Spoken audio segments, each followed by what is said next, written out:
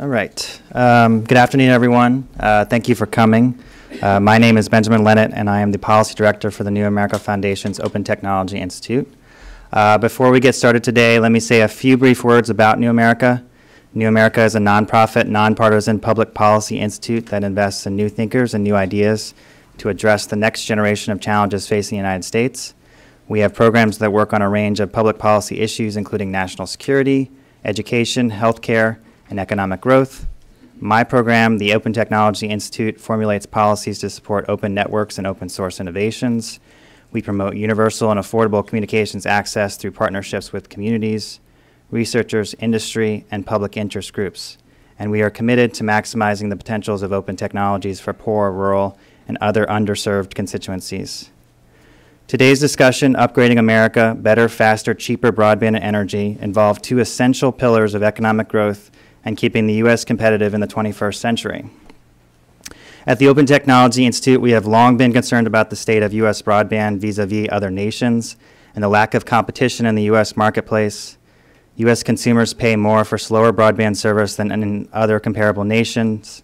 Even our most densest and wealthiest cities are lagging behind other world leaders.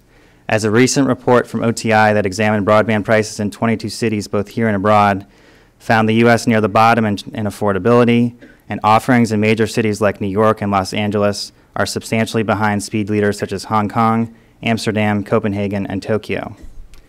Many of these leading countries have pursued more aggressive competition policies to drive innovation, such as open access and unbundling, as well as greater public investment in network infrastructure by local and national governments. In the U.S., competition in the residential and small business market is dwindling. The recently approved purchase of spectrum by Verizon from several of the nation's largest cable companies, along with joint marketing and operating agreements, signal to many an end to broadband competition between cable and telephone companies. Both Verizon and AT&T have suspended further deployment of their more competitive broadband services such as Fios and U-verse, leaving cable companies as the only future high-speed option for consumers and small business businesses in three quarters of the nation going forward. There are some bright spots for the U.S. National education and research networks, including the National Lambda Rail and Internet 2, are pushing the boundaries of networking speeds. Publicly owned and community networks in Chattanooga, Tennessee, Lafayette, Louisiana, and Bristol, Virginia are offering world-class speeds and connectivity to residents and small businesses, as are a few private entities uh, private sector deployments like Google Fiber in Kansas City. In mobile, ongoing 4G upgrades to increase the capacity of those networks and make more efficient use of spectrum providing consumers with substantially higher speeds. However, the two largest mobile providers, despite possessing vastly larger amounts of spectrum than their smaller rivals, continue to impose more restrictive usage caps and plans to discourage users from accessing too many innovative mobile applications and services. In terms of energy, we've made significant investments in renewable technologies. 30 states in the district have set renewable energy targets. The challenge going forward is to determine policies that can accelerate the technology itself, as well as new models to spur adoption by utilities, businesses, and consumers. We have a distinguished and expert panel to discuss these challenges and issues today. Uh, we will begin with a presentation by Reed Hundt and Blair Levin based on their forthcoming ebook, Faster, Better, Cheaper, A User's Guide to Post-Election Politics. Uh, Reed Hundt is a former chairman of the Federal Communications Commission and currently a principal of REH Advisors and CEO of the Coalition for Green Capital. Blair Levin was the principal author of the FCC's National Broadband Plan and is currently the founder and executive director for GigU, the University Community Next Generation Innovation Project. Uh, then we will hear brief responses from Mark Cooper, Chief Economist for the Consumer Federation of America. We will also hear from Harold Furchtgott-Roth, Furgot Roth, a former commissioner at the Federal Communications Commission and currently a senior fellow at the Hudson Institute. And finally, my colleague here at New America, Michael Calabrese, director of the Wireless Future Project. Uh, after hearing from our respondents, I will ask a few questions of the panel and then open to the audience for additional questions as time permits. So without further ado, let us begin with Reed Hundt and Blair Levin. Thank you very much. Hello, everybody. Thanks for making it here. Uh, I am going to talk to you about energy, and Blair will talk to you about uh, communication services. Uh, but we're both talking to you about a conversation that we have been having with each other and want to invite you into. We've been having this conversation for about a year. Uh, in our own conversations, we call it the politics of abundance. We read a book by uh, Thomas Edsall, a terrific uh, writer, uh, called The Politics of Scarcity.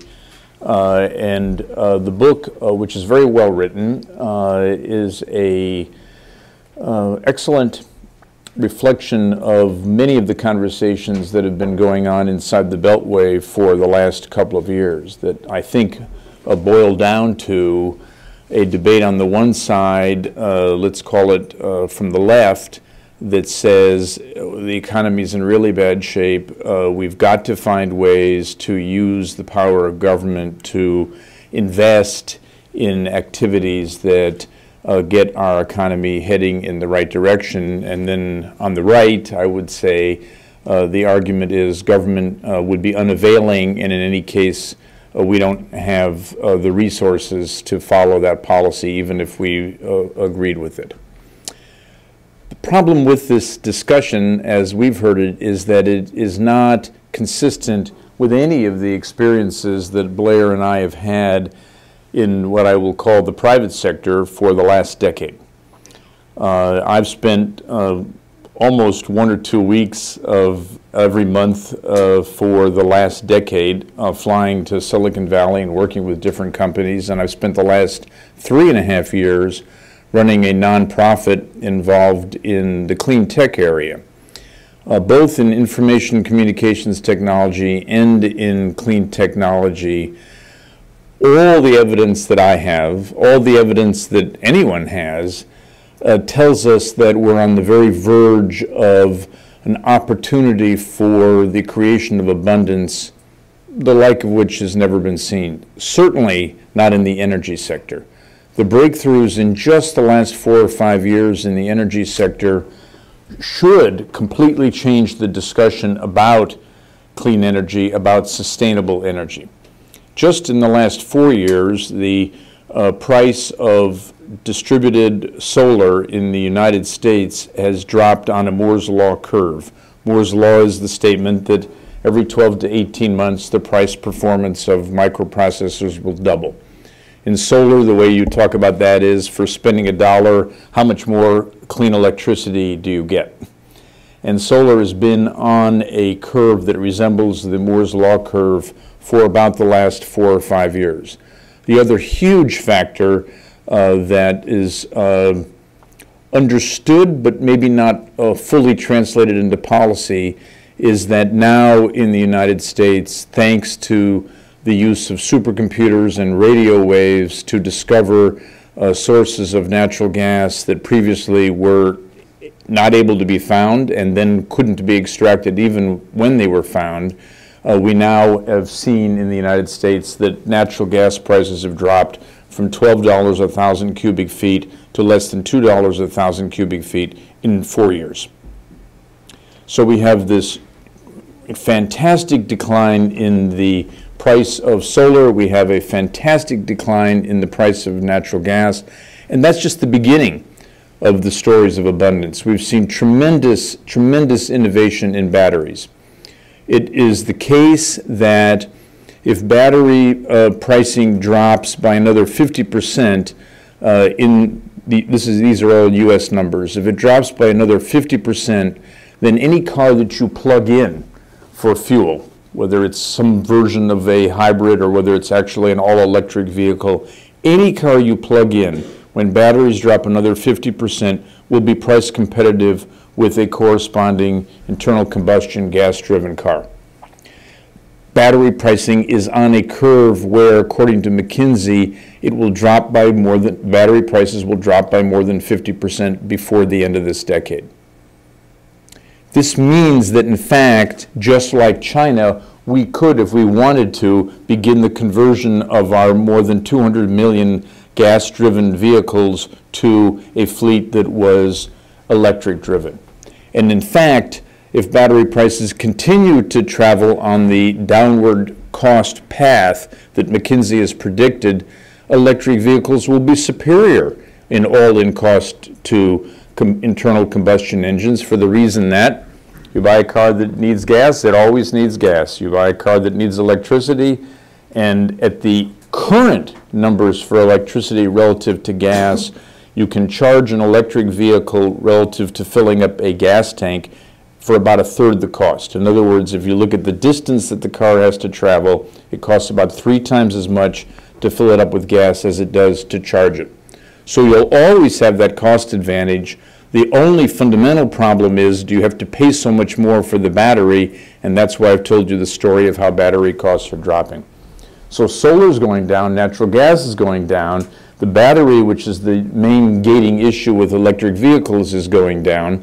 And there are many, many other examples, all of which are a function of the focus of technology on the energy sector, coupled with the adoption of some extremely positive policies for loaning money and for not charging taxes to startup enterprises in the clean tech area. These policies were embodied in the stimulus bill, and in fact, more money was loaned out and more money was spent in research in the stimulus bill than in the previous two decades at the Department of Energy. The results were fantastic in just the four years of the first term of the Obama administration. If you ask the following question, in the energy sector, are we better off now than we were four years ago? In the energy sector, the answer is it's astounding how much better off we are. We're on the edge of energy independence. All the curves that I've told you are heading in the right direction. Everything that's supposed to go down is going down. Everything that's supposed to go up is going up. The total size of the, of the renewable energy industry in the United States has almost doubled in four years. The story is fantastic. It is a story of abundance. Instead of focusing exclusively on assumptions of scarcity, it would be a wonderful thing if right after the election, everybody in Washington focused on how to take all of the things that are doubling and double down on them. That's what we've written in our ebook. Uh, it's tentatively entitled uh, Faster, Better, Cheaper. Uh, it is going to be published uh, the day after the election as a open letter to the winner of the election. We're kind of um, not only desirous but confident that it'll be sent to the re-elected President Obama. But the point here is not a partisan point. It is a point about how the discussion for the United States, starting right after the election, can be and should be a discussion about how to have a growth strategy. Not about, not a debate in which we decide how little can government do, a little more than a little, a little more than that, certainly less than a lot, but rather, what is the role of government in unleashing the opportunities to take advantage of the potential for abundance? Specifically, in the energy sector, and I'll uh, make a few more comments about energy and turn over uh, to Blair to talk to you about broadband. But in the energy sector, uh, our thesis in our uh, working draft, one of the purposes of this gathering is for you all to ask some questions and help us fix the working draft. Uh, our thesis is this. Uh, the United States president, whoever the country decides to elect, will believe that the government should not pick national champions. That's a belief held by Democrats, it's a belief held by Republicans, it's a correct belief. But that doesn't mean the president should have no sense of strategy. The president, in fact, is the president of a government that was able to put a uh, vehicle on the surface of Mars at a cost of, I think, about $3 billion the president can get the advice to make fundamental strategic decisions about the sectors of this economy that deserve the policy attention because they are the areas where we're going to have significant opportunities for growth. There are two platforms on which everything in an information economy and an information society depends. Those two platforms are the two electromagnetic wave platforms. They are the platform of knowledge, sometimes called broadband and the services on top of it, and they are the platform of power. And that is the need to have a sustainable base of non-polluting power at a very, very low price, because that is an input to every single form of human activity. We, in fact, have the opportunity to have faster, better, and cheaper power effective almost immediately and extending to the end of time. Cheaper means actually cheaper. I am on the board of the Connecticut Green Bank. Connecticut uh, electricity prices were 17 cents a kilowatt hour a year ago. They're now 15 cents a kilowatt hour. It's still too high, but it's going in the right direction. All the changes that are possible in terms of abundance are about being able to deliver electricity cheaper. Better means that it would be truly sustainable, it would not have externalities, it would not create pollution that somewhere along the line generates some other cost. And faster means we need to do all of this much, much more quickly than we currently are doing. That is for two reasons. Reason number one is climate change. Uh, uh, 2011, uh, the world set a record for emissions. We currently are, as a world, uh, on a path in which the maximum amount of greenhouse gases that can be tolerated without raising the global temperature more than 2 degrees centigrade, the maximum amount will be in the air in about 16 to 18 years. When that uh, limit is hit and these greenhouse gases take us over 2 degrees centigrade, there's two things to be said about that fact. Number one, of all the things that all the nations in the world have been agreed to, the only one, been able to agree to, the only one is this. We dare not go above 2 degrees centigrade without running risks that are simply catastrophic for everyone uh, then alive or anyone who might uh, be alive in future years. We dare not go above an increase of 2 degrees centigrade. By the way, the increase already has been 0.8 degrees, so we have 1.2 degrees left, and we have, we're on a path now within 16 years to hit the maximum number of emissions that will, um, uh, going beyond that, raises it above 2 degrees centigrade. The second thing that all the nations in the world have agreed to is this, no collective treaty to deal with this problem. Therefore, there are two countries in the world that need to get on the faster, better, cheaper plan in terms of energy. They are the two countries that are the biggest in the world for renewables. They're the two countries that are the biggest in the world for emissions. They're the two biggest economies in the world. One of them is the United States and the other is China. These two countries, in terms of their current energy footprint, are actually extremely similar.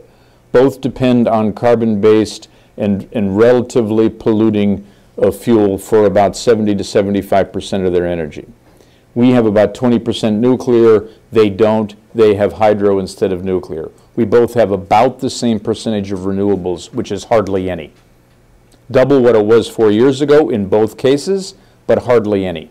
We both need to vastly accelerate, faster and faster and faster, our commitment to renewables, and we both need to vastly accelerate our research and development in how to clean the emissions from all the carbon-based fuels. We have to take the lead here in the United States in order to get them to take the lead, and that's good for our businesses because we'll be talking about export markets. This is a path that no reasonable people disagree on. The fundamental direction no one disagrees on instead of us all saying there's no way to get there, in fact, technology and private sector investment is on the verge of taking us there. It can be cheaper, it can be better, and it can be faster that we move to this sustainable energy platform. That's what we are trying to write about. That's what we want you all to talk to us about today. And the other electromagnetic wave platform will be dealt with by my friend and uh, former FCC colleague Blair. Thank you very much.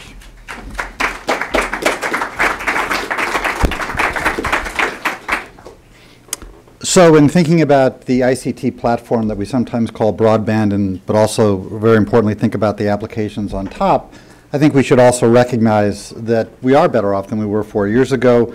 Uh, With wired broadband, uh, we do now have what we didn't have four years ago, a platform that actually can, is capable of delivering, for example, 100 megabits to about 80% of the population.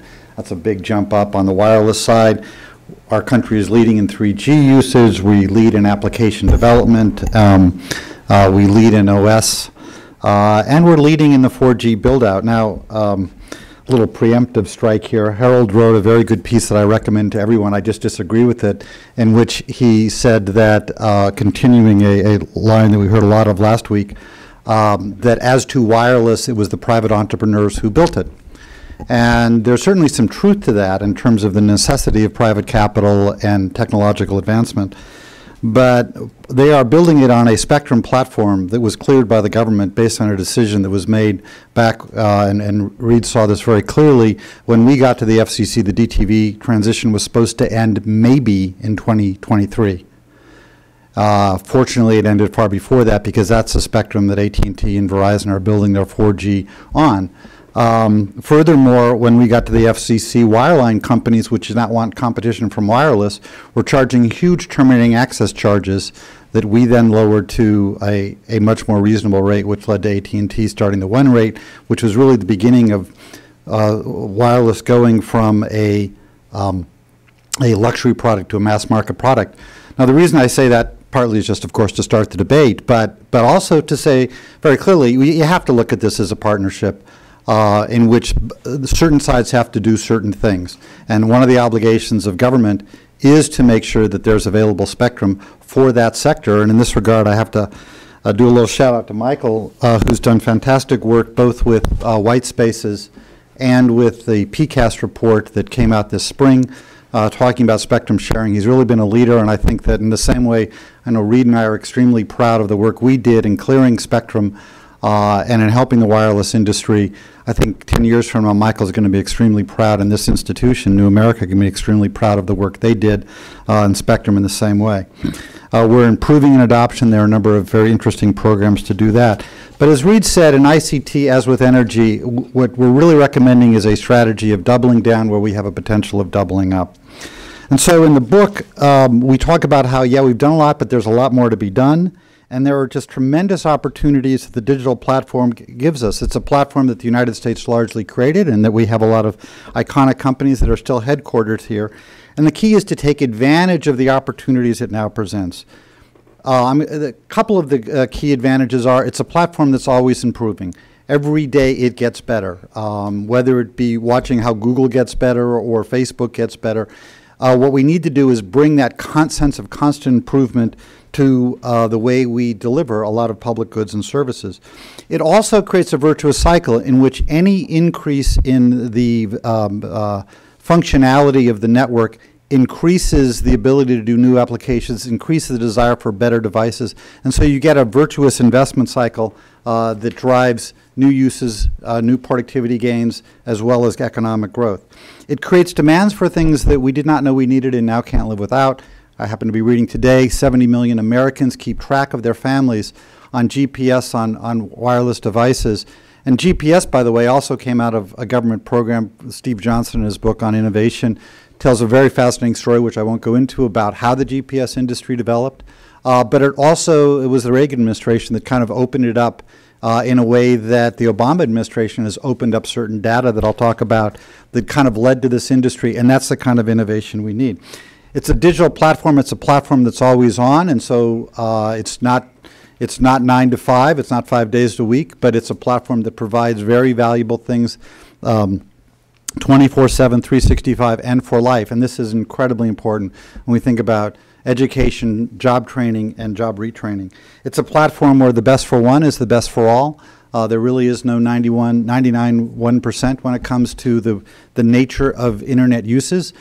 I would sus- I suspect that all of us use wh- whatever our different incomes use a similar uh, search engine. When my daughter, uh, who went to a very fine public high school, needed some assistance on a certain topic where she had, frankly, not such a great teacher, she went to a website that's available to the wealthiest, but also to the poorest kid with a broadband connection.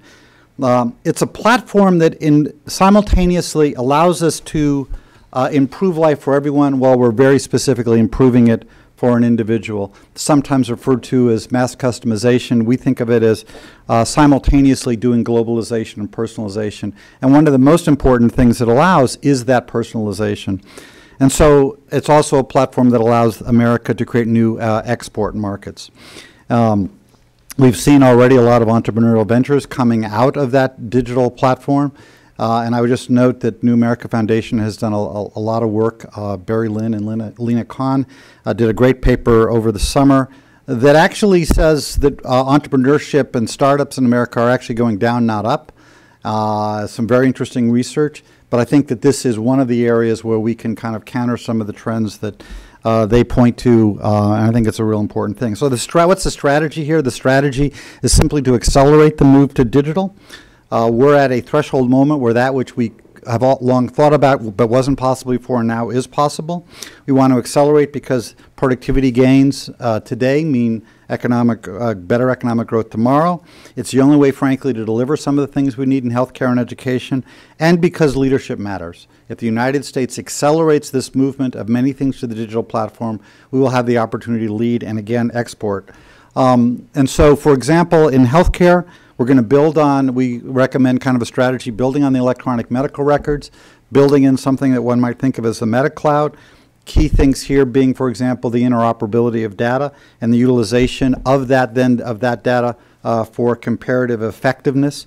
Uh, utilizing a, kind of a strategic bandwidth approach to big bandwidth applications to make sure we lead in things like genetic sequencing, which require greater bandwidth, or do things like in-home treatment, which through the utilization of new technologies like 4K cameras can vastly improve how we monitor certain people in the house. Uh, we want to accelerate pharmaceutical innovation, which is now possible. We want to make sure that government eliminates restrictions on network-based medicine and provides incentives for more uh, utilization. Similarly, in education, the key is to utilize the data for uh, personalization. We need to accelerate the movement to digital content. Uh, we need to require constant assessment and, and enable transparency for parents and teachers to be able to constantly evaluate material, which wouldn't be possible on a analog platform. We talk about how we can provide incentives to do so through the E-rate funding, and we suggest moving some of the funding, uh, which is currently just funding uh, last century's network, to fund new experimentation with this century's leading networks. Um, and that we have to make sure that data caps don't interfere with uh, kids getting a good education. We talk a bit about how we can uh, utilize the same types of digital trends for um, uh, for public safety and how the new FirstNet uh, proposal, which Congress passed on a bipartisan basis and the Commerce Department is now in charge of implementing, can be utilized to drive more private investment, um, to drive more rural build out, and that th there's a need for kind of standard um, applications that people can, in a uh, time of uh, some kind of public safety emergency, gain access to necessary information both from the government sector, but also from essential facilities uh, such as electrical providers. Um, we basically need to utilize all of, uh, we, we need to move all of the government over to that digital platform.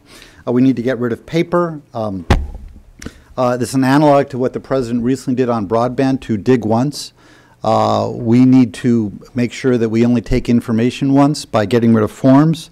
Uh, and there's new technologies such as private data vaults, which uh, can uh, dramatically reduce the time and effort to reduce those forms. We suggest a, a plan for something we call myproblemsolve.gov, which allows an, um, which allows someone to put in information and get access very easily to what government programs may be available to assist them, what other kinds of programs may be available, or, or, or in some other way uh, help them through a comprehensive algorithm.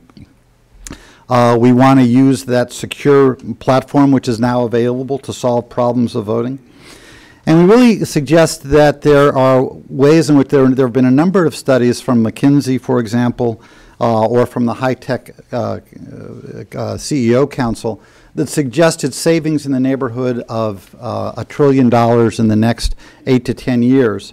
Um, and so one of the things that we suggest is that in the negotiation between the President and Congress, that something like the base closing commission um, is established to deal with how do you utilize technology to drive those kinds of improved efficiencies and savings And part of the problem is because of the way the government does its budgeting, it's very difficult to put upfront money uh, in making that transition. But this is kind of a one-time transfer to leading-edge technology for the government so that we can be the first real all-digital government. Um, Now, I should note that a move to digitization is, of course, a shift that, like the shift of about 100 years ago with agriculture, has a lot of jobs um, uh, at stake, but it's not necessarily a job destroyer. When innovation increased agricultural productivity, we needed fewer farm workers. However, as food became cheaper, the money saved helped fuel demand for other things like cars, appliances, travel, and all of this created new jobs and created essentially the economy of the last century. Innovations in digital create the same kind of shift, but we have to retain, uh, retrain significant part of the workforces. So one of the few places where we actually ask for increased funding is to create some kind of uh, job retraining for the jobs of this coming century. Uh, but also, it is a lot easier to do that on a digital platform, which is always available and which can be in somebody's house, so the training itself can be better. Let me just close by saying that this spring we celebrated the 150th anniversary of uh, a very extraordinary Congress. It was a Congress that recognized that that our country needed to have the most productive land, the best transportation to get crops uh, to consumers, and the best mind. And so the Homestead Act and the Railroad Act and the Morrill Act, which is responsible for the wonderful uh, public education leading institutions that we have and that really are the most important asset that we have for the 21st century economy. Uh, Congress took those necessary steps. Today, knowledge and power are the two key inputs to everything in the economy. If we have the best energy in broadband platforms, we will continue to grow and we will continue to lead. Thank you.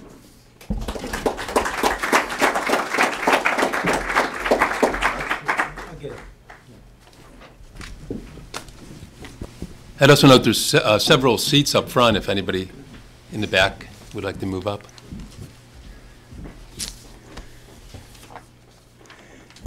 Okay. Um, I have a somewhat different take on this. Uh, I'm going to start with a fairly famous American that was really a well-beloved, a man of the people, Ben Franklin.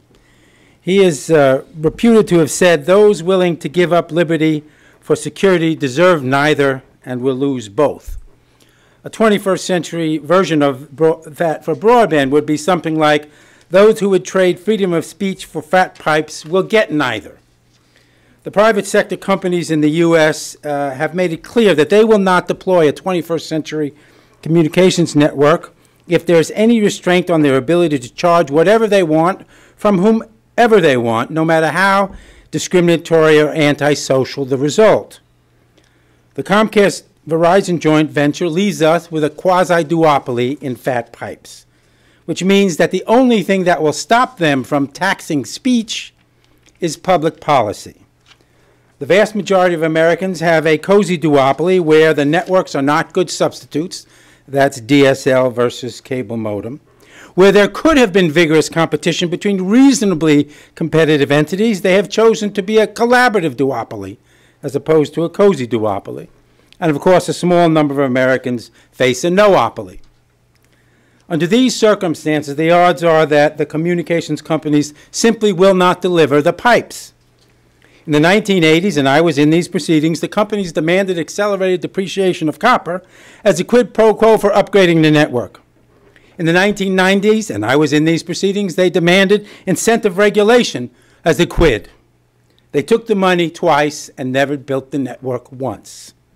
Now they insist that discriminatory pricing and what they call policy-based routing are the only way to pay for and manage a 21st century communications network, but they will not make binding commitments to deploy it.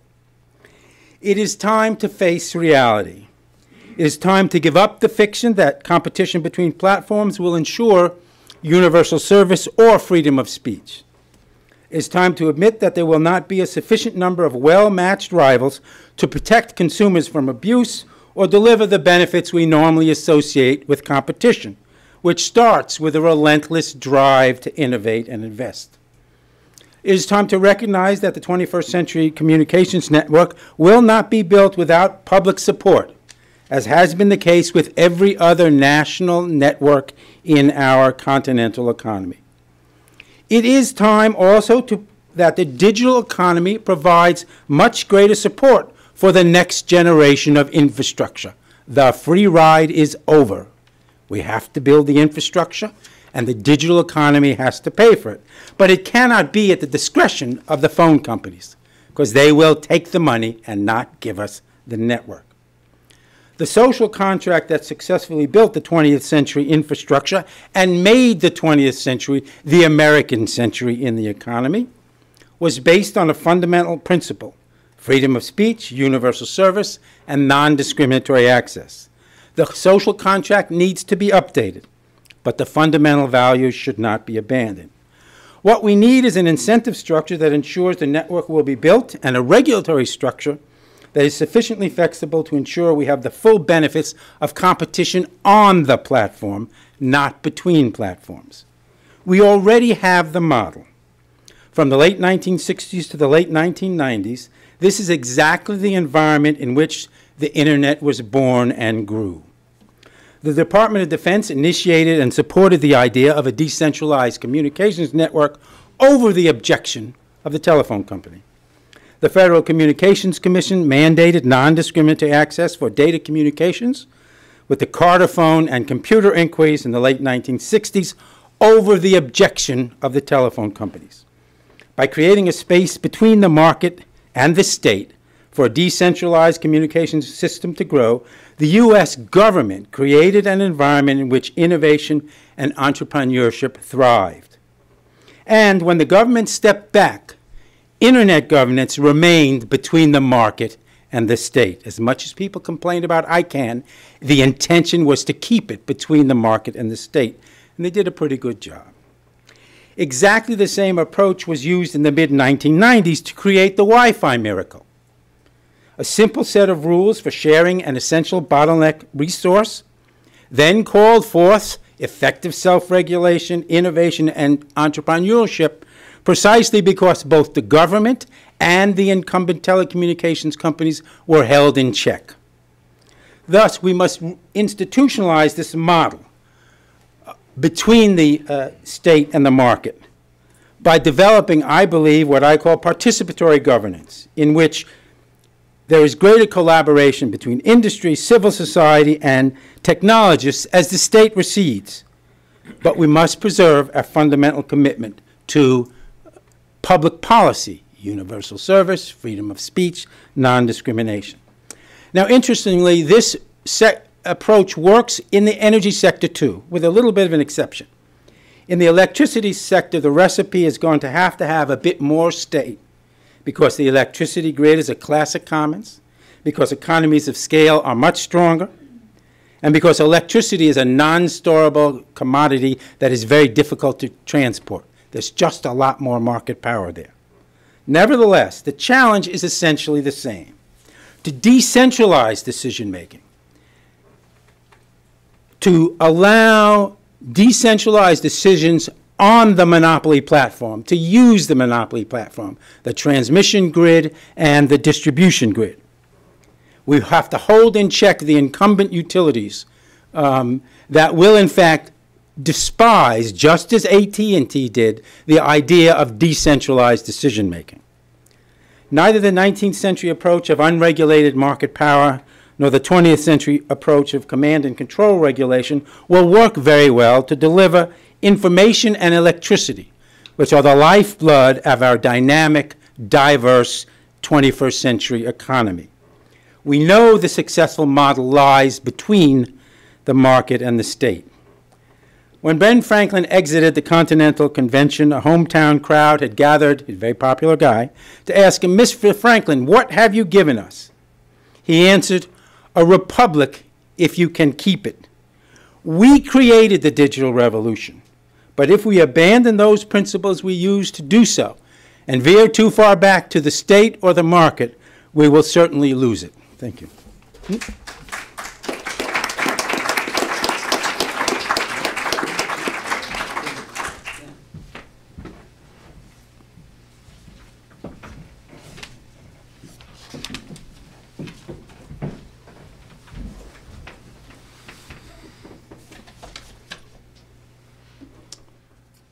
Well, First of all, I'd like to thank the New America Foundation for having me here today. I particularly want to thank Michael for organizing this session. Uh, It's a, it's a great honor to be on this distinguished panel, and it's always a great pleasure to, uh, to be with my friends and former colleagues, uh, Reed and Blair. Um, uh, They have, uh, they've made a wonderful presentation, and uh, as is always the case with Reed and Blair, it, uh, it does not lack for ambition, and uh, it tackles important problems. And uh, I, I very much agree with them that I think whoever the next president is, uh, getting a memo on what should be done in these two sectors uh, is very important. Um, What, what I have not heard from, uh, from Reed and Blair yet, but I'm sure I will, uh, is uh, exactly what needs to be done. Is there a need for more regulation? Um, As, uh, as Reed described, there's been enormous progress made in uh, the energy sector over the past few years. Uh, If the graphs are true, um, get out of the way. We're there. If, if the technology is improving according to Moore's Law, you don't need government intervention. Moore's Law applied to the microchip industry. The microchip industry did not have government regulations determining what manufacturing would be or how we go forward. And it's a great example of how the private sector can and will work when there isn't excessive government regulation.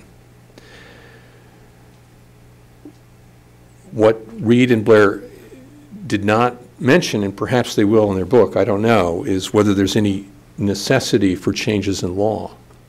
Um, And, and I- I'm sure they would likely agree that uh, in discussions with in- the investment community and with the, the management teams of major corporations, one of the, the major problems, it- I can at least say in the telecommunications sector, that's holding back investment is uncertainty about what the government will do, uncertainty about what the rules of the road are. Um, It's, it's been an ever-changing world. Uh, A great amount of money was invested in the 1990s under an assumption of what the telecommunications rules were that, that Reed and Blair helped develop. And those got radically changed. And uh, many investors I've spoken with have said, you know what? I'm never going to invest in the telecommunications industry again because I just don't know what the rules of the road are. It's very important to get those straight. Uh, And I hope that will be part of the message that, uh, that they provide in their book. Um, uh, I I think getting government back towards following what the law actually says uh, and regulating where it's required under the law, but not where the law doesn't require it, uh, that those are the keys to success in these two industries.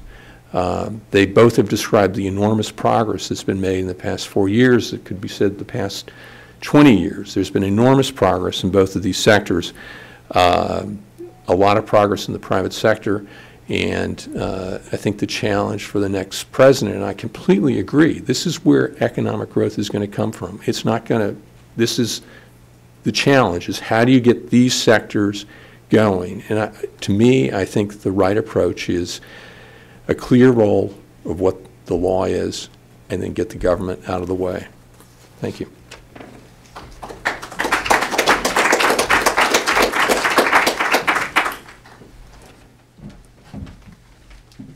Want me to wrap up respondent, and then we can get to some discussions and questions and comments from you all.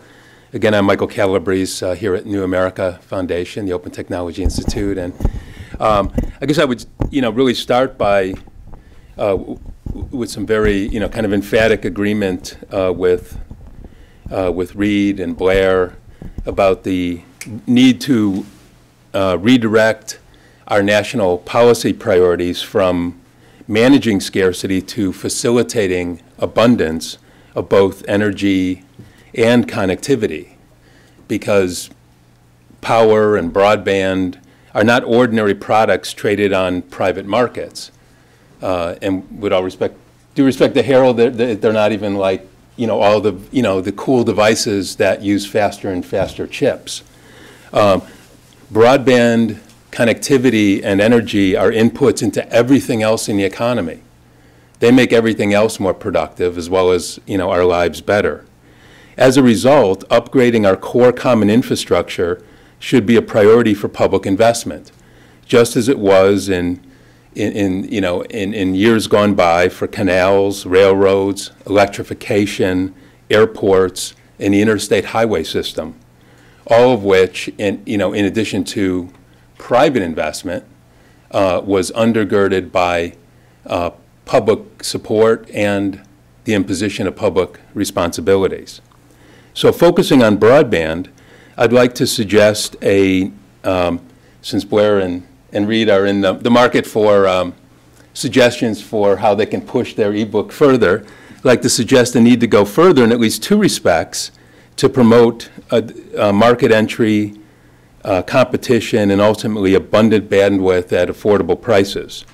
First, um, uh, first, I believe the nation needs more public investment in middle mile fiber in particular to drive it into deep into every community, open fiber, and not government run networks at all. And second, we need to prioritize spectrum sharing, particularly on the very much underutilized federal uh, airwaves, federal bands, and make more unused public spectrum capacity available at low cost something that is a policy very much in addition to auctioning the limited amounts that can be auctioned. And I'll double back on that in a minute. Blair has correctly acknowledged that it's important to drive fiber deep into networks. That is, to bring it as close to each residence and business as possible to facilitate gigabit connectivity. And that's what his GigU initiative is all about. Uh, but I think there's, there's another facet to this that's almost a step prior, which is that the U.S. still lacks a key infrastructure building block, which is to bring fiber backhaul into every community and neighborhood in the first place, you know, to get it there. Um, that's why uh, New, America Help was one of the uh, founders of the school Schools Health Library Broadband Coalition a few years back um, during the early debates about what we would use the economic recovery uh, money for. And what, what the Shelby Coalition advocated, which included American Library Association and other groups, was um, gigabit connectivity, a, a gigabit connection to every public anchor, community anchor institutions, schools, libraries, hospitals. Because almost by definition, if you put a, a, gig to every elementary and high school, right, um, you, you get fiber into every community, and then you have an open interconnection requirement.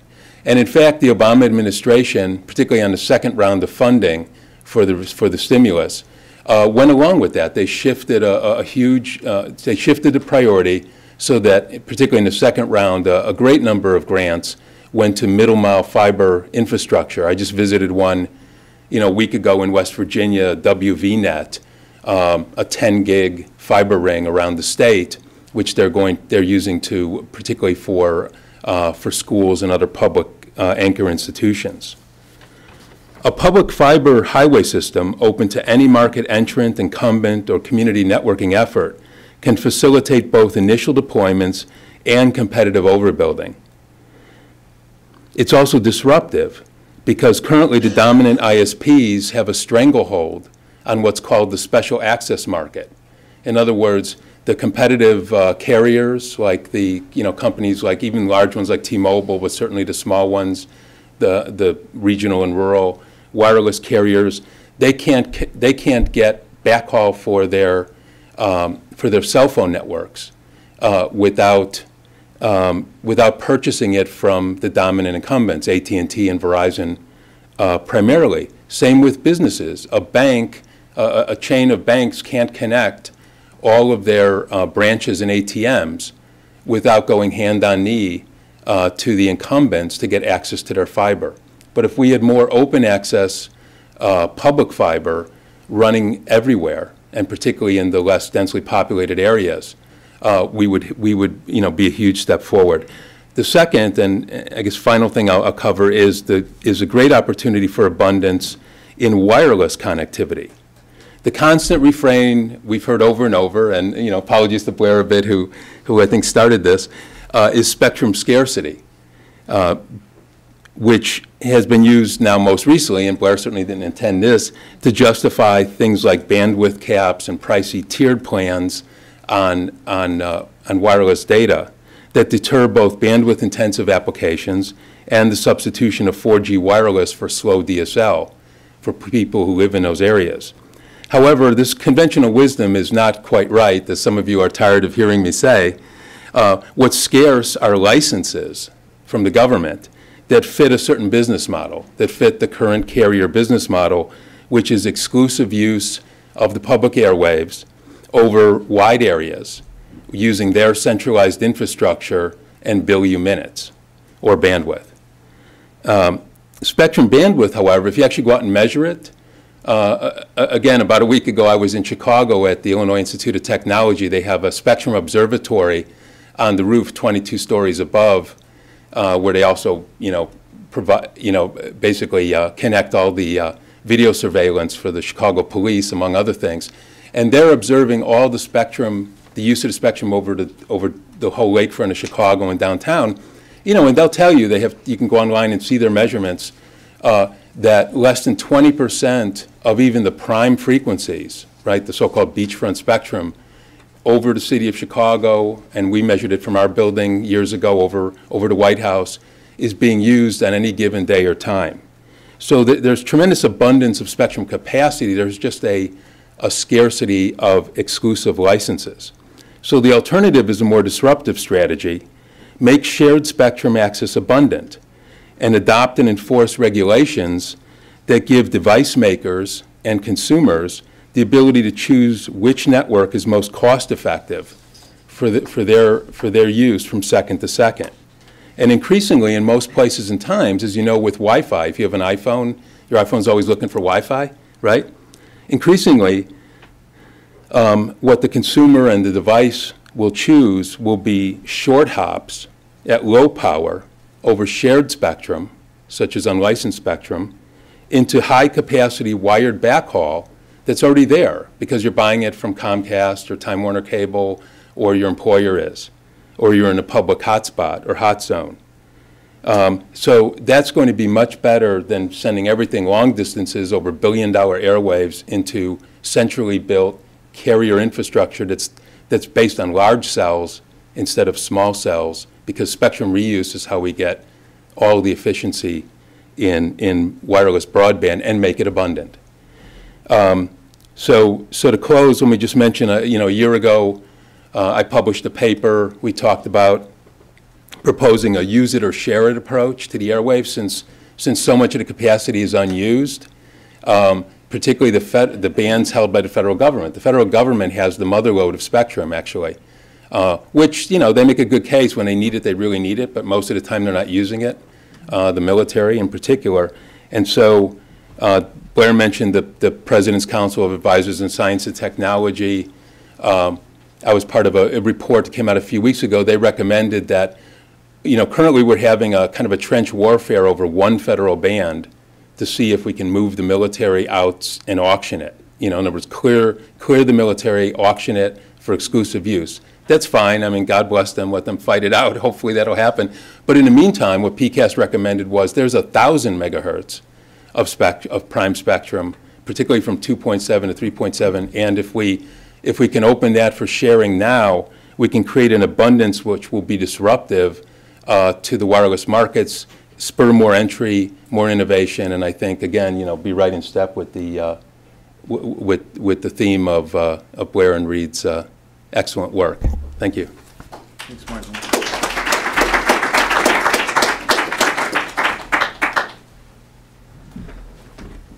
Okay, first off, uh, I want to give Blair and Reed an opportunity to respond to, to anything they heard uh, previously, just a couple minutes, anything that's uh, Okay, you're well, dying to uh, respond to.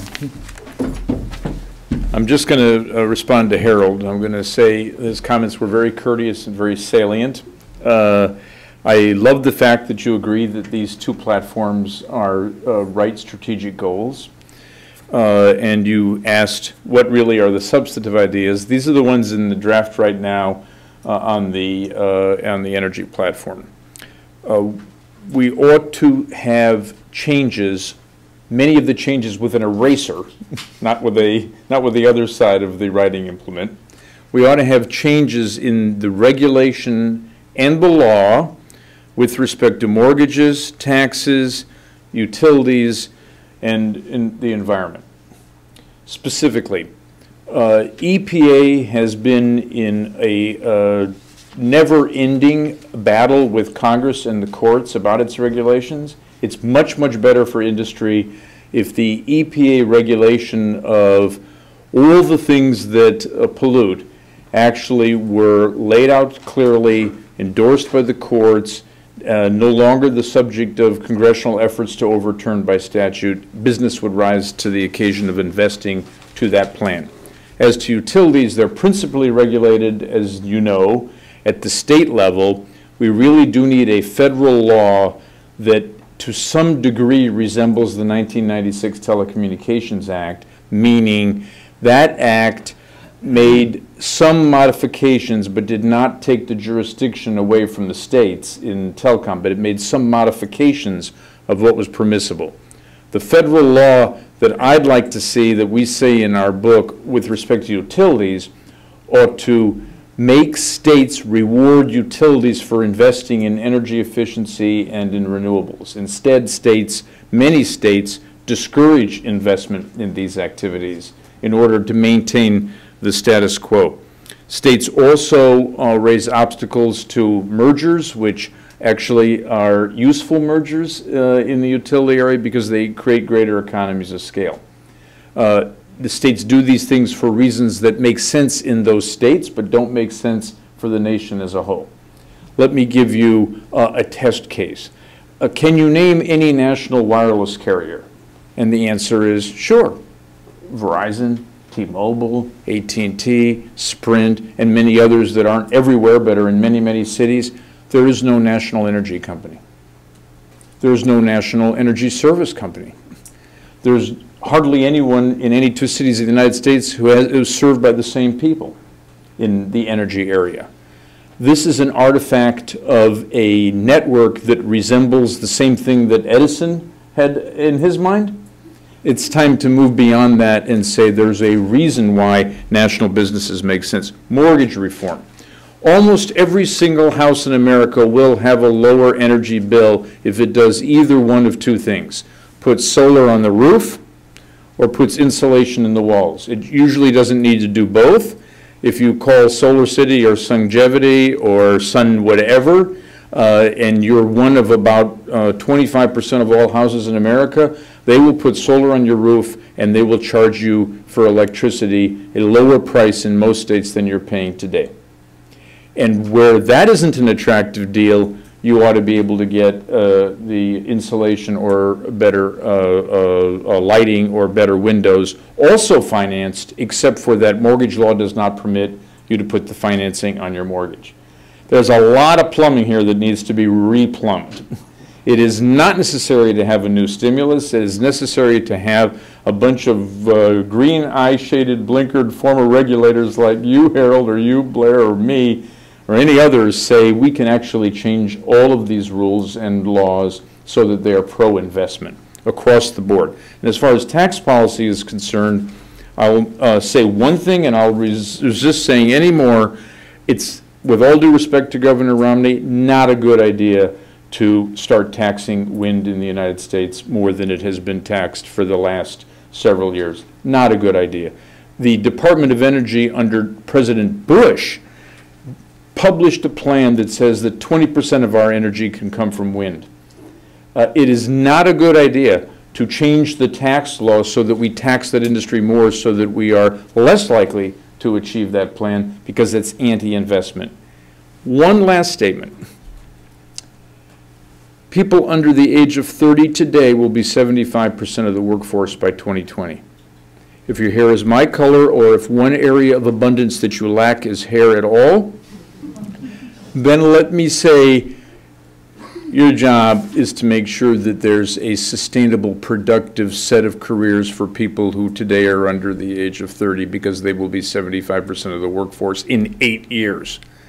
And working on these two platforms and using these two platforms is the right direction for America, and if just those people voted, it would be the way we would go.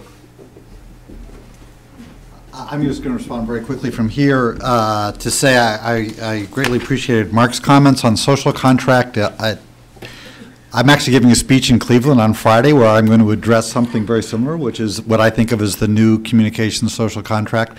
But I'm going to wait till then, or or another question from the audience, because I want to get to questions of the audience. But I certainly agree that the current contract is in the process of um, uh, of- of of- becoming obsolete.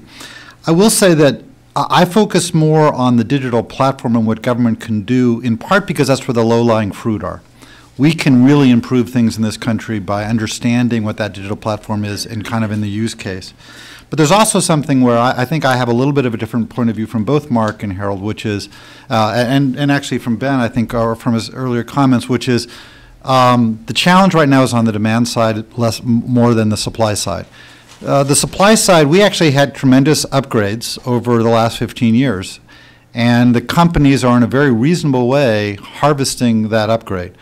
Uh, I disagree with Harold that uncertainty is a problem, and indeed, if you look at the stock market performance of the telecom and the, and the cable sector over the last year, it's been fantastic. Um, uncertainty is not blocking investment. They're making, they're, ma- they're certainly making money. Um, the, the, fu- the fundamental problem is one of demand, I think, and this has been a lot of the work that we've been doing on Gig.U as to how do we, how do we have network leading, I'm sorry, demand leading networks that then drive a cycle of an upgrade. So it's a little, I'm going to step away from that. I will only say that we do have some things in the book on spectrum, uh, kind of following up on, on that work. And I certainly agree that if we want to have bandwidth abundance, which is very much at the heart of it, we have to have uh, smart spectrum policies, but we also have to have ways in which we kind of lead the demand that kind of create um, the private investment that I really think can do it. Uh, And, and, you know, when Reed and I were at the FCC, we, there was a huge uh, private investment into that sector. I think that's the kind of thing we'd like to see in energy on the network side. It's the kind of thing we'd like to see in broadband on those, on the application side, particularly in those areas where government is either the major buyer or the major supplier, uh, and to move those platforms um, and make sure the government does it in a way that is digitally smart. Um, I'm going to sort of continue sort of on that, that theme and, and give Mark a chance to respond. But, so cable is, is likely to have a monopoly over three quarters of the country in terms of sort of the 100 megabits per second speeds. Uh, if you define that as a market, Okay. which it is Yeah. not today. Um, Their margins on broadband service are already fairly substantial. One estimate was around 95%, which is dramatic. Uh, They are also vertically integrated operators with a traditional cable television revenue stream uh, where higher speeds on broadband in particular encourage further consumption of over-the-top internet video. Um, So what is their incentive at this point? Now, you've sort of said demand alone would sort of drive an upgrade, but if... didn't say that, but go ahead. Okay. Um, What is their incentive at this point to substantially upgrade their networks, uh, especially if telephone companies are only investing in wireless? Where is the competition going to come from? And and Blair, you can go first, and then I'd like to hear from Mark. Well, it's funny because you seem to be quoting speeches I've given on behalf of Gig.U. I, I, I, the, the, the incentive to upgrade is not there. That's the whole point. Um, now, from the perspective of if you're the president of the president, uh, which we I believe will be the reelected president uh, the day after the election, and you're trying to do what Reed and I think is very important, which is to develop a growth strategy. You want to look at what can you effectively do? What are the levers of government? where you can drive uh, economic growth and a rising standard of living for all Americans. And I have to say that I think that the kind of things that we outline in the book are things that the, the president does have the kind of control over. Um, uh, largely, by the way, in the executive branch, though, as we'll discuss in the book, some in negotiations with Congress. And so I think that that kind of those digital applications uh, are, are where I would focus. In terms of the competition, I think it is a complicated picture. I- I've actually spoken a lot on it, And I don't want to bore people with the repetition, but at the end of the day, you fundamentally don't have the math in place for the upgrade. And what we are doing at Gig.U, and actually what Michael and I are working on together with a a similar project called Air.U, is trying to figure out how can you change that math to drive the upgrade um, by reducing capex, opex, and risk, and by increasing uh, revenues and uh, system benefits and competitive uh, opportunities. And I think when you look at what Google is doing in Kansas City, you see the wisdom of competition, where Google went into Kansas City, Time Warner a few days later, um, right after the announcement, announced an increase in speed. I think they went from 3 to 50, if I recall, and now have announced about a 10% increase in their workforce.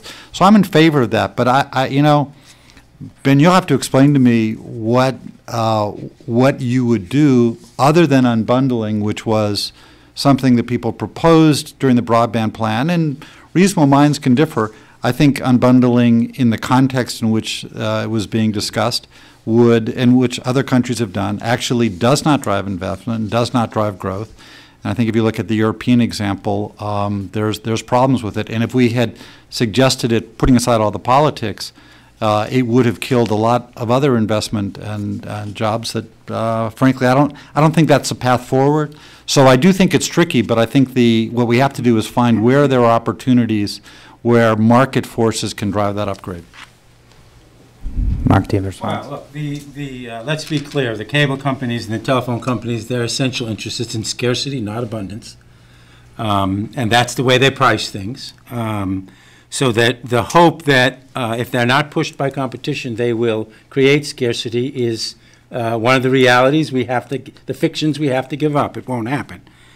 Um, But the the solution becomes the way you incent, stimulate demand on a broad scale across a continental economy is not by picking itty-bitty pa- little places and say, well, see, we built it there, now here's a demonstration project, everybody else do it. You built it there without demand, you built it there on the supply side, and so that doesn't work. What has to work is the model of creating the space where the private sector now can do its thing, and the internet and Wi-Fi are perfect examples. The best examples we have of true deregulated markets. Entry was easy because the rules made it easy. Without those rules, they would not have happened. And so, if I look at the cable space, if I look at the quasi, uh, you know, duopoly between cable and FiOS, which is the only place you have reasonably well-matched competitors, they will both benefit if we make sure their platforms are open to competition. They will moan and groan about they thought they could make more money by jacking up the price, which is what people who specialize in scarcity do. But we know they will do, be better off if we ensure competition on the platform. That's, that's the model we need, and it involves targeted places where you say, I am going to I'm going to tie you down in this space, constrain your instincts to slow innovation, as long as I create a space where I get innovation from outside. That's the model that works. And we really do. And uh, um, Mike mentioned a series of national quasi monopolies canals, railroads, electricity, airports, and the highway system. Those don't work in the 21st century. They were static, stable, undifferentiated products that you could regulate that way and hope demand would fill it up. We need something different for the 21st century. Any other comments from the panel? Um, Let's turn to um, usage-based Just, pricing now. Um, The chairman of the FCC has, oh, Harold, sorry, go ahead. Just very quickly, um, there, there are no laws that prevent uh, companies from offering broadband services in the United States. Uh, Nothing prohibits telephone companies from investing in broadband. Nothing prohibits cable companies from investing in broadband. Nothing prohibits other companies from, from coming in and, and offering these services. Uh, What the market reveals is, I think, exactly what Blair was saying, is that uh, companies are making decisions every day and, and determining that they can't make money on investing more in this, this service. But it- it's not a, it's not a legal or regulatory impediment at this point. Well, the law of economics actually is the impediment. This, this is an industry that tends towards monopoly, or at best duopoly. And the, and that has been the fact, and lots of people thought that would happen, and we now see it. The question then becomes, what does public policy do about it? That's, and I understand you don't accept the proposition that we could have four competing broadband pipes. Full-service 100 megabit pipes. Ain't gonna happen. We can't even get two. And once you admit the reality that you can't have two, then the public policy question becomes, how do I make sure I get at least one good one, and then the full benefits of competition on that pipe? Um, And that's a complete, I understand that's a completely different mind frame, but it's, it's, it says, the laws of economics apply on both sides of the congressional aisle. Um, Let's turn to usage-based pricing. Uh, The chairman of the FCC has, uh, on a a few occasions, endorsed data caps as a business model innovation uh, and saying that usage-based pricing could be healthy and beneficial part of the ecosystem. Blair, you've sort of advocated for a psychology of bandwidth abundance. What do you sort of see as the role for the, uh, the FCC and the chairman in sort of uh, encouraging more of a, an environment of abundance rather than scarcity? Um, Well, I think, you know, if you, uh, as as Reed talked about early on, if you see your mission as abundance, then you set a strategy to do it and you make the choices to do it. And so it involves a number of different things.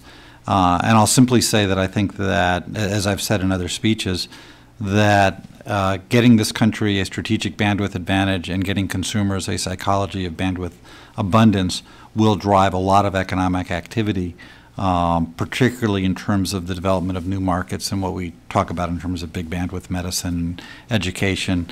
I do think that um, I would be uh, very reluctant to have government involved in the micro managing of the pricing of the service or the nature of the particular service. So I don't, uh, I wouldn't have a government intervention per se in that area of usage-based pricing. I do think, however, there are certain public goods such as education and healthcare, emergency services, where, and we talked about this in the plan, um, if it turns out that that usage-based pricing is discouraging the utilization of networks for those public goods, uh, that's something that the government has to look at, and uh, that's, we we chat about that in the book a little bit, too. Do you have? Well, so so let me just ask, ask some questions. Uh, These are not uh, uh, the suggestions we are definitively putting in, but they're questions. Uh, Suppose that uh, the government said the following to Medicare providers. Uh, On such and such a date, all your services have to be provided on a mobile broadband platform. Would that create demand for mobile broadband? Is it a good idea? Would it be a useful service? Suppose that uh, a state government were to say, uh, on such and such a date, all all the textbooks in all the high schools have to be available digitally. You can have paper too, if that's what you want in your school, but you have to have everything uh, in a digital format. Would that create demand? Uh, Would that uh, drive new services? Would that be a platform for change?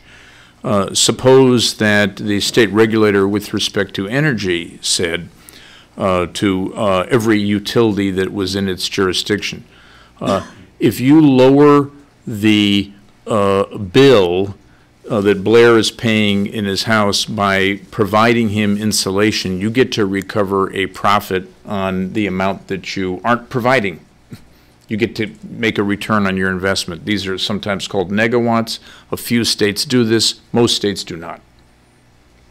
Would that create demand for efficiency? So these are all ways that demand can be created by this major, major player in the economy, which is called the government, sometimes local, sometimes state, sometimes federal. About seven, uh, about 7.8% of all the people in the United States work in government. That's about 20% of the workforce.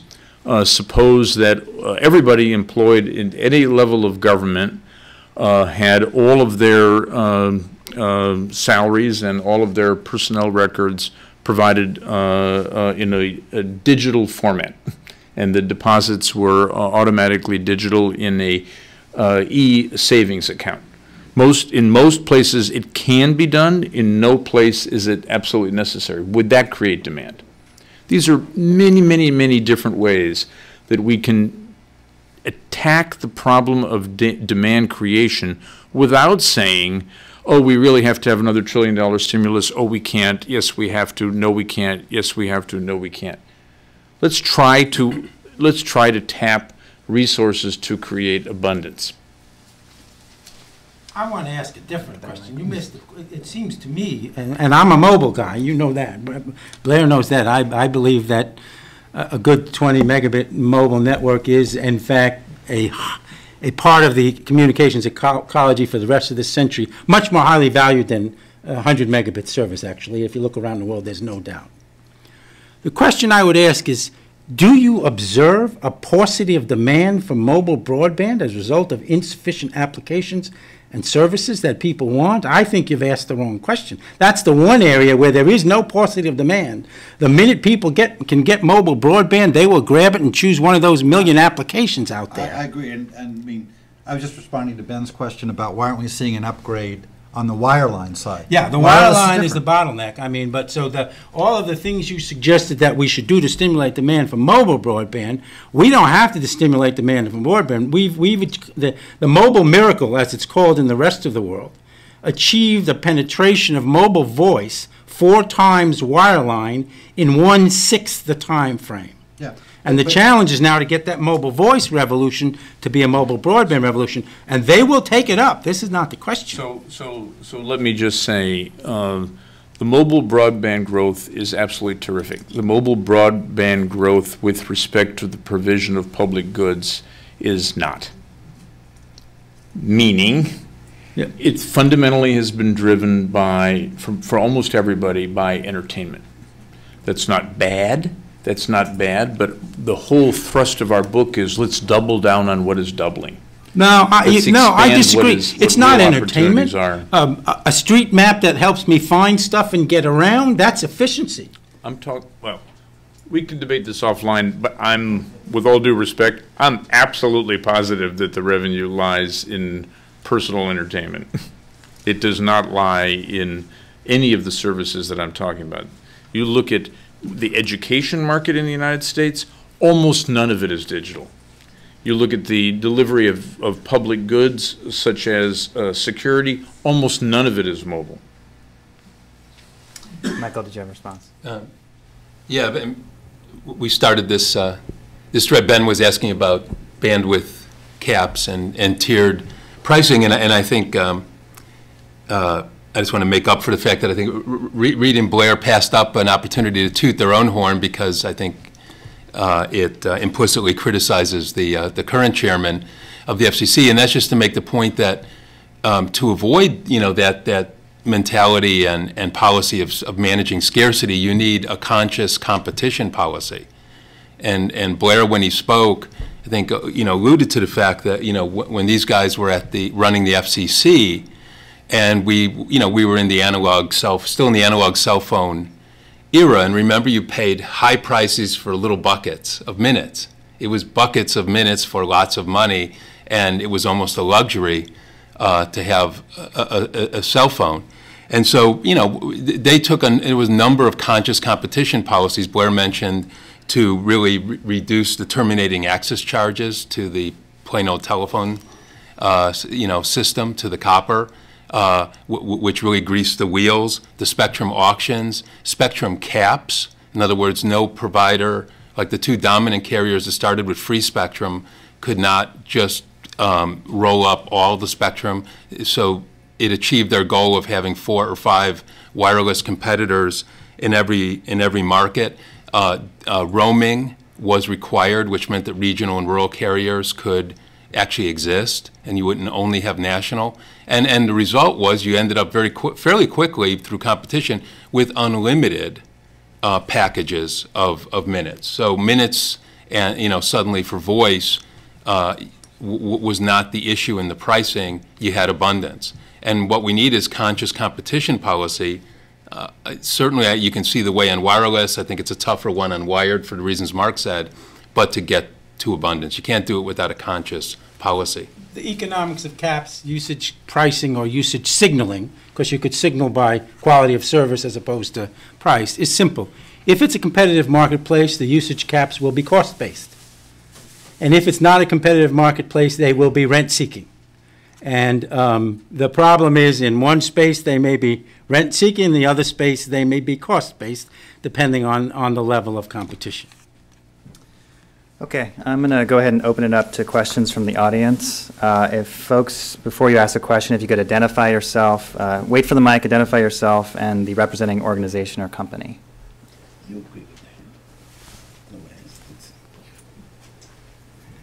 Steve Wildstrom, Techpinions. Uh, I think saying that most of the demand is coming from entertainment is correct, but rather misses the point. Uh, the fact is that entertainment, particularly HD video, uh, simply demands so much bandwidth that no matter what else people are doing, uh, the total bandwidth consumption is always going to be dominated by video. Um, you know, one hour of Netflix is probably a lifetime of Khan Academy videos, even comparing video, even comparing video to video. So I think you really have to look not at the just the bandwidth consumption, but sort of the, the time consumption on the part of consumers to understand what's really going on out there. Any responses from the panel? They should have, give them more. Okay, up front here. Hi, Earl Comstock with uh, Comstock Consulting, and I I guess I wanted to pick on two points that Reed and Blair raised. You were talking about electricity versus telecom, and what's fascinating to me in this entire panel, um, who I have great respect for, nobody mentioned the dreaded word common carriage. Uh, But frankly, that's a model that's been well litigated, well tried, and uh, what you're all talking about is essentially circling around the same thing, which is we have certain essential facilities, uh, you know, whether there's a monopoly, duopoly, even a quadropoly, you can argue about. What wasn't really discussed, but, but I think it'd be interesting to look at in your book is it's access by devices. And if you think of the electric grid and what states that do have electricity competition have done is essentially provide access by devices, namely the generation devices, to a common carrier grid. And that's what's leading to a lot of the success of the green energy, your ability to put your energy back on the grid. Interestingly enough, in telecom, we've done the reverse. We've increasingly removed access to devices. And I point to the cable here, and 20 years ago, Congress said in the 96 Act, you're supposed to promote access to devices to cable. Well, 20 years later, we still don't have that. And that's where the innovation came from. It's not the demand. We don't need to boost demand. There's plenty of demand out there. If you look what consumers today pay for communications, it's five times what people were paying for back in the 1990s when we had the Cable Act and we had the 96 Act. So there's plenty of demand there.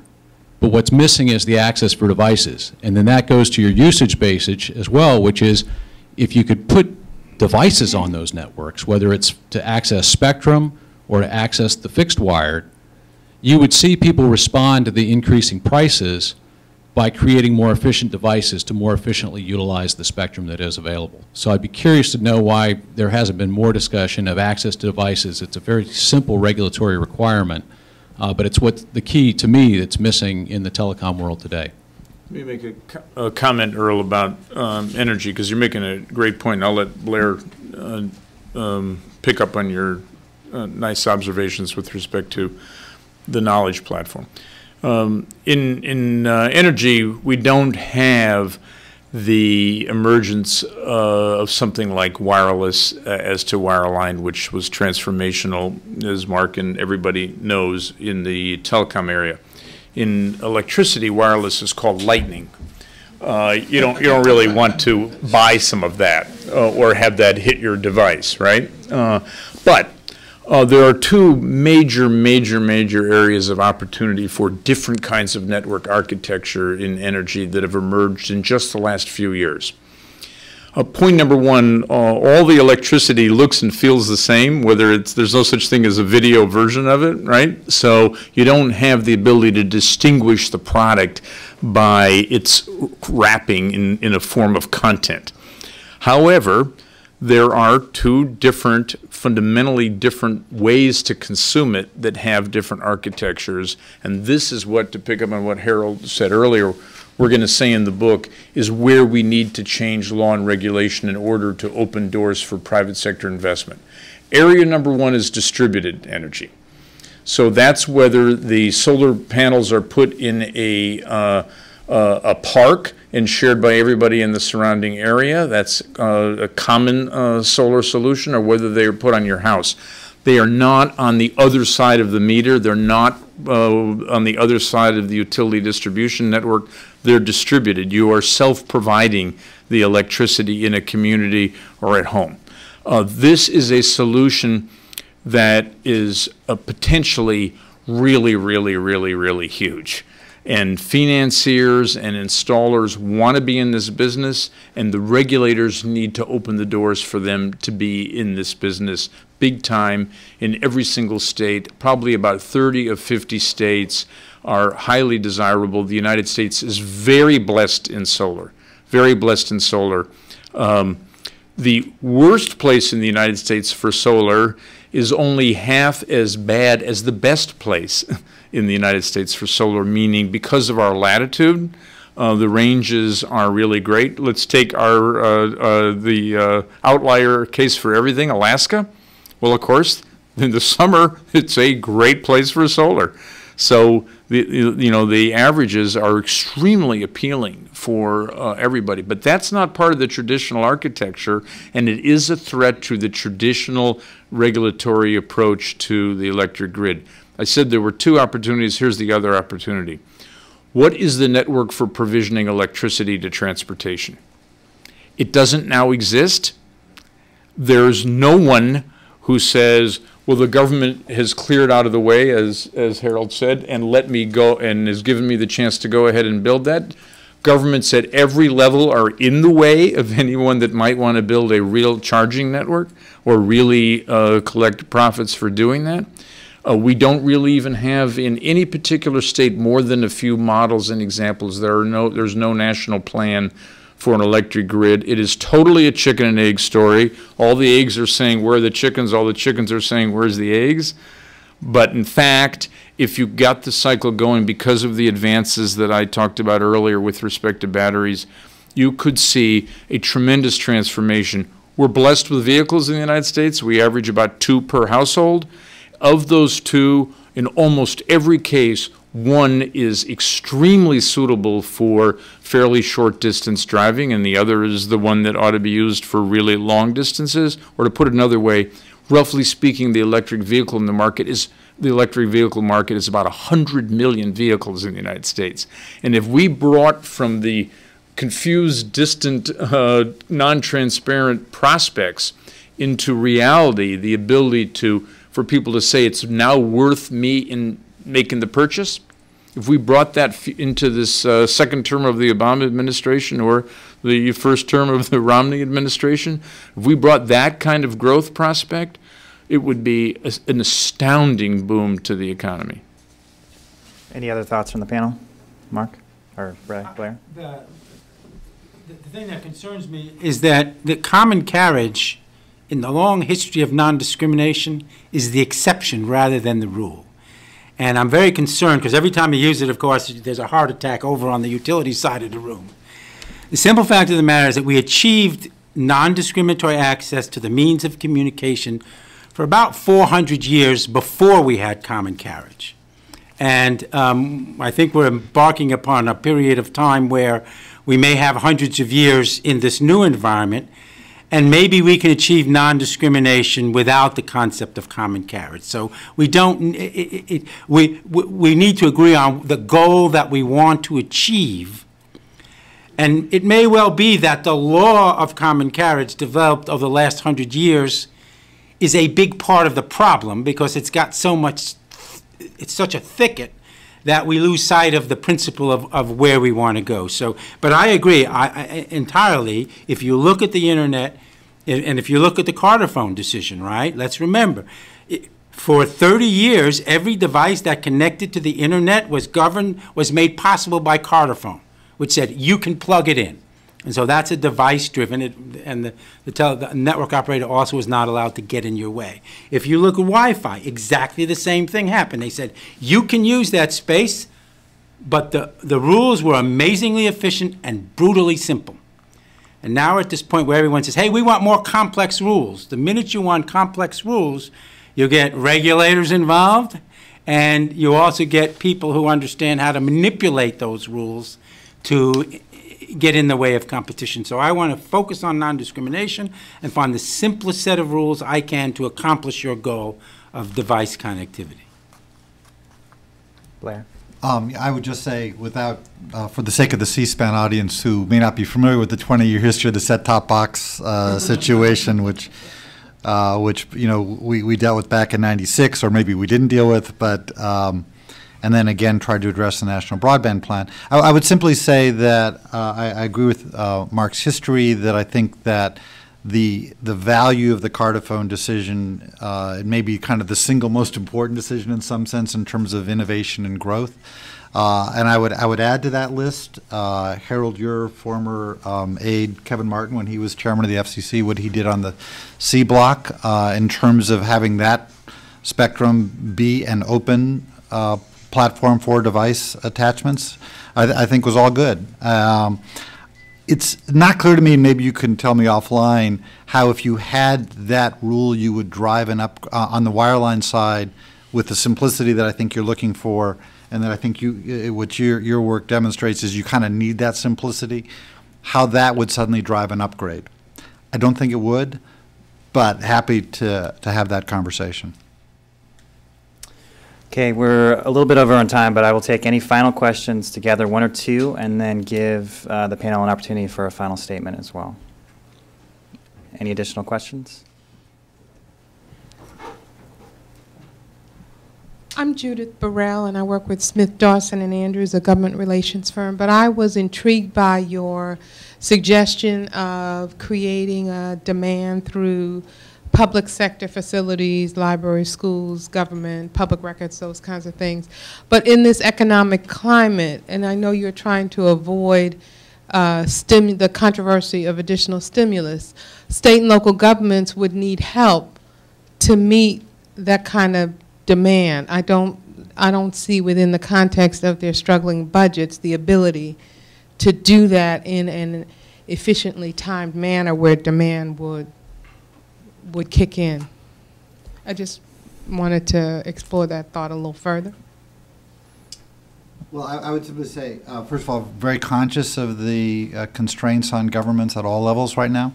And part of what we're going to be kind of laying out are different approaches to it. And I think that when you look at um, uh, how uh, local governments, through a series of different actions, can actually lower what they pay, but, but drive an upgrade.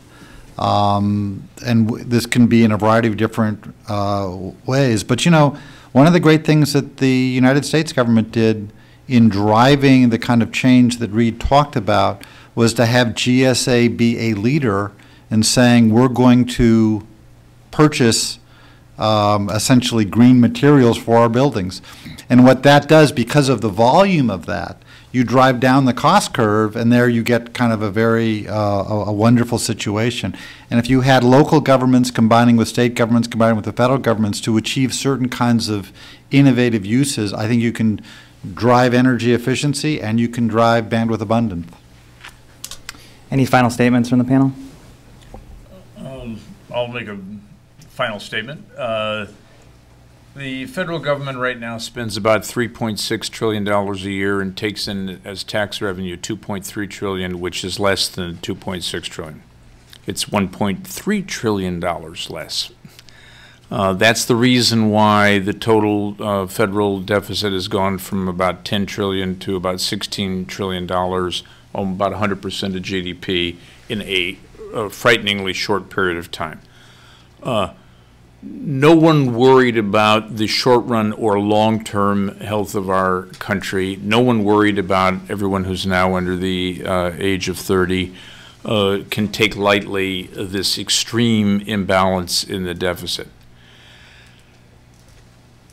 The period of 1995 to 2000, the five fabulous years in terms of the federal budget, were years in which the GDP averaged a growth rate of 4% a quarter.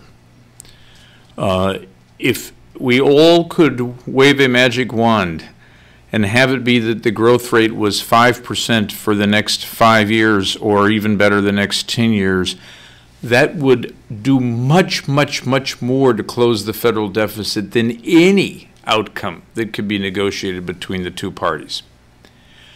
That doesn't mean that a magic wand will do the trick, but it does mean that having a growth agenda be a central part of the discussion about the deficit is the best thing for all concerned.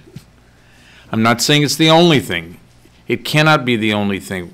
The $1.3 trillion deficit is a big hole, and just saying we're going to grow the way out of it is not what we're saying or any reasonable person should say. But on the other hand, having no growth agenda, that would be self-inflicted injury. Blair? Michael?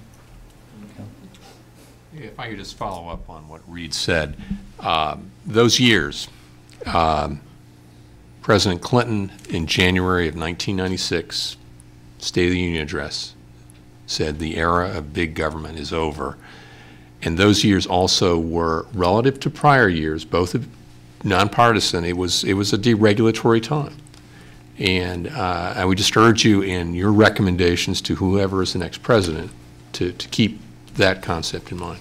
A a deregulatory time that included the implementation of the 96 Exactly. Act, yes. So we'll agree on that. Well, the- the the challenge here, and the- the paper I left here talks about the, the, the, uh, why growing income is hard to do, the quarter-life crisis of the digital revolution. This is a revolution that's been around for about 25 years, and it turns out that every major industrial revolution goes through a quarter-life crisis, where you start to figure out what set of institutions are going to channel this immense amount of economic power. And um, it's, it's hard. The 96 Act was a little bit early, but it understood what was, what was coming. Um, And so the, the thing is, and the, the New Deal was the end of the quarter-life crisis of the last, the Progressive era, the New Deal. It's the same cycle. And it's really important, I think, to understand that each revolution produces a new set of institutions. We don't have to give up our values, but we have to fix our institutions. And for me, the interesting thing is electricity and, and, and ICT are the only two technologies that are completely widely accepted as general-purpose technologies. They fight about steam and they love agriculture, which is 10,000 years ago. But these two technologies have come in a very short order between each other, combined, to completely transform the world. There is absolutely no doubt. You go out and look at the world with, with the mobile miracle, you look at the rate of growth in the developing nations in the last couple decades, and it is a function of these two revolutions. And we need to find a way to make sure we don't muck it up going forward. Thank you, Mark. Uh, Please give our panel a round of applause.